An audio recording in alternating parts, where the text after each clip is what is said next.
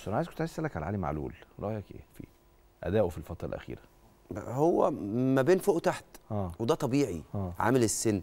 وعلى فكرة النادي الأهلي عنده مشكلة في الحتة دي إن مش مجهز حد بعد علي. محمد أشرف شوية بدأ ياخد دلوقتي لو طلع مش مش مش ال back left آه. اللي أنت بتقول عليه مفتاح لعب. آه. خد بالك الزمالك عنده ثلاثة back left. آه. عبد الشافي وعبد الله جمعة وفتوح. نمرة واحد فيهم فتوح.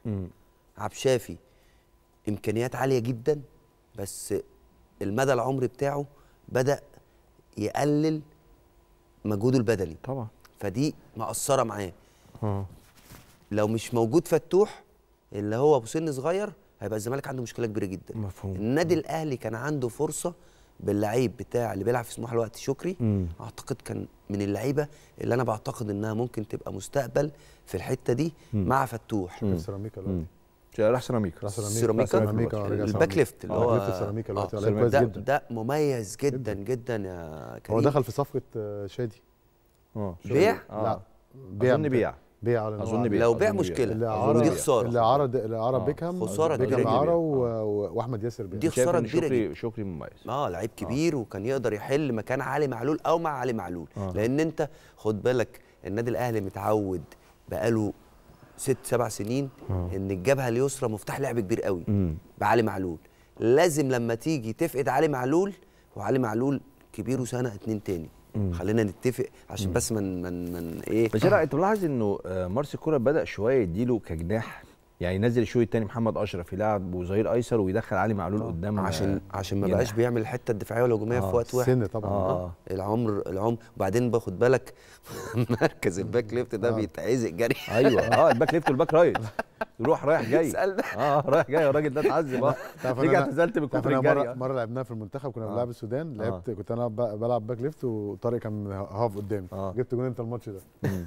وأنت يعني اللي شلت الليل آه ما هو في الشوط الثاني كان كنا مع كنا مع مين؟ مع تردلي تارديلي. والشوط طارق كان بيلعب back left والشوط الثاني بقى هو half left وراح منزلنا back left. عملنا جبهة بقى جبهة رهيبة وانت الصراحة. بقى قلت مش عايز ألعبها هنا تاني. لا جبهة رهيبة ما كنتش هو مش فاهم أنا بتحرك إزاي. عمال.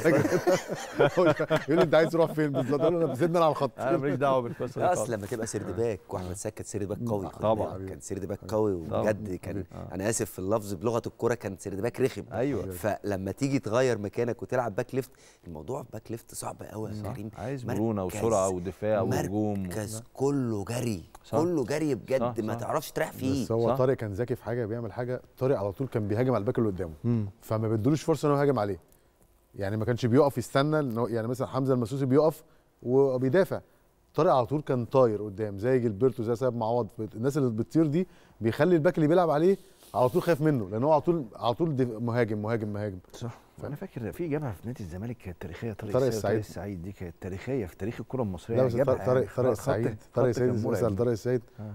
يعني عايز أقول لك إيه سالب دفاع. آه. ما بيدافعش خالص. فشيل أنت بقى. لا لا لا أنا كنت. كنت مرة قاعد معاه من فترة كنا جايبين ماتش كده في قديم. فواحد معدي من جنبه يعني هو لو مد رجله ياخد الكورة ولا أكنه مثلا مش شايفه. آه في طارق السعيد ورا بقى. لا لا هو قاعد ما بيشغلش في شيل الدفاع انت. كابتن أحمد شرفت ونورت. حبيبي يا كريم حبيبي، طبعا أنا نورت سعيد. بوجودي معاك طبعا ومع كابتن طارق يا السعيد. كابتن طارق مستنيين ال final final الكابيتانو إن شاء الله بإذن الله هاجي معاك هنا أيوة. بعد ال final أيوه. ونحتفل بالبطولة مع الله بعض. الله. يلا ألف مبروك مقدما وإن في الآخر يعني أنا كسبت. وإن كان يعني. بالظبط إحنا كلنا كسبانين. وإن كان الكابتن محمد اماني حبيبي برضه وخلي بالك هو. كده على طول يعني إيه. بعد أي بطولة بيكسبها بيذبح عجل على طول. كان في المنتخب عامل كده دبستك. يا ما أكلت اكلته لحمة في والله ال- العظيم. هو بيمسك فعلا. كان. بيجيب على طول إيه كنا في المنتخب قاعدين بقى كابتن حسام حسن. آه. فطارق يروح جايب لنا عجل صغير جدا. آه. العجل صغير قوي.